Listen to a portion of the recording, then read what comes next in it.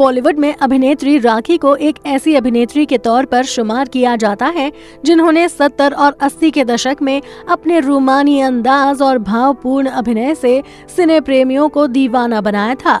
उनके अभिनय को लोग आज भी सराहा करते हैं। और करण अर्जुन फ़िल्म में माँ का किरदार तो आपको याद ही होगा, जिसमें इनका दमदार डायलॉग मेरे बेटे आएँगे।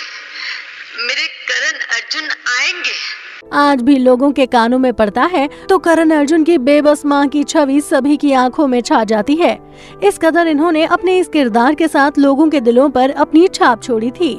लेकिन आप इनके बारे में तो सब जानते होंगे, पर शायद ही आप इनकी फैमिली हिस्ट्री के बारे में जानते हो, कि इनका फैमिली बैकग्राउंड क्या है, और किस तरह से इन्होंने अपनी फैमिली से निकलकर इंडस्ट्री में अपनी एक अलग पहचान बनाई है।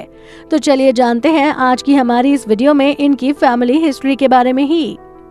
करण अर्जुन की माँ का किरदार निभाकर प्रसिद्ध हुई अभिनेत्री राखी गुलजार पश्चिम बंगाल के नादिया ज़िले के राणा घाट में एक बंगाली बिजनेसमैन परिवार से ताल्लुक रखती हैं। इनके पिता मिस्टर मजुमदार, जिनकी कोई तस्वीर नहीं है, वो एक स्वतंत्र बिजनेसमैन थे, जो बाद में बंगाल से आकर पूर्वी बंगाल में बस गए थे माता पिता द्वारा पसंद की गई लड़की से इनकी शादी हो गई थी, जिसके बाद इन्हें दो बच्चे हुए, पर अफसोस आज वो दोनों ही अपने बच्चों के बीच नहीं है।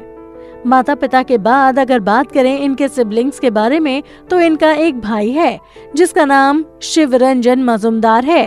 वो लाइमलाइट से दूर ही रहते हैं, इसीलिए उनके बारे में भी ज़्यादा जानकारी नहीं है। अब अगर बात करें इस फैमिली की स्टार राखी गुलजार के बारे में, जिनका जन्म 15 अगस्त उन्नीस को बंगाली परिवार में हुआ था तो इन्होंने अपनी शुरुआती पढ़ाई राणा घाट के गर्ल्स स्कूल से ही की और आगे की पढ़ाई भी वहीं से पूरी की। अगर बात करें इनके अभिनय करियर की तो इन्होंने महज 20 साल की उम्र में वधुवरन बंगाली मूवी से अपने अभिनय करियर की शुरुआत की थी। जिसके बाद इन्हें फ़िल्म जीवन मृत्यु में बतौर लीड एक्ट्रेस के तौर पर लिया गया। ये फ़िल्म राखी की बॉलीवुड डेब्यू फ़िल्म बनी, जिसके बाद इन्हें 1971 की फ़िल्म शर्मीली में डबल रोल करने का मौका मिला, और इसी साल इन्होंने लाल पत्थर और पारस फ़िल्म में भी काम किया था, और राखी की लगातार तीन फ़िल्में सुपर हिट साबित हुई थी। इसी के साथ वो बॉलीवुड की बेहतरीन अदाकाराओं में शामिल हो गई इन्होंने अपने फिल्मी करियर में लगभग पचानवे फ़िल्मों में काम किया है, जिनमें कभी कभी ज़मीन आसमान और आंचल जैसी फ़िल्में शामिल हैं। पर 80 से 90 के दौर में लीड एक्ट्रेस के बाद फ़िल्मों में इन्होंने माँ की भूमिका निभानी शुरू कर दी इन्होंने एक माँ के रूप में अनाड़ी, खलनायक और बाजीगर जैसी फ़िल्मों में काम किया था वहीं आखिरी बार ये साल 2003 में आई फ़िल्म दिल का रिश्ता में नज़र आई थी, जिसके बाद बढ़ती उम्र के कारण इन्होंने फ़िल्म इंडस्ट्री को हमेशा के लिए बाय बाय कह दिया था, और इसके बाद उन्होंने कभी किसी और फ़िल्म में काम नहीं किया। प्रोफेशनल लाइफ के बाद अगर इनकी पर्सनल लाइफ की बात करें तो इन्होंने पहले बंगाली पत्रकार और फ़िल्म निर्देशक अजय विश्वास के साथ अरेंज मैरिज की थी, जो कुछ समय बाद ही समाप्त हो गई थी, जिसके बाद इनकी ज़िंदगी में एंट्री हुई गुलजार साहब की, जो मशहूर शायर हैं। गुलजार साहब के रूप में इन्हें अपना हम सफ़र मिल गया था दोनों की पहली मुलाकात बॉलीवुड की एक पार्टी में हुई थी।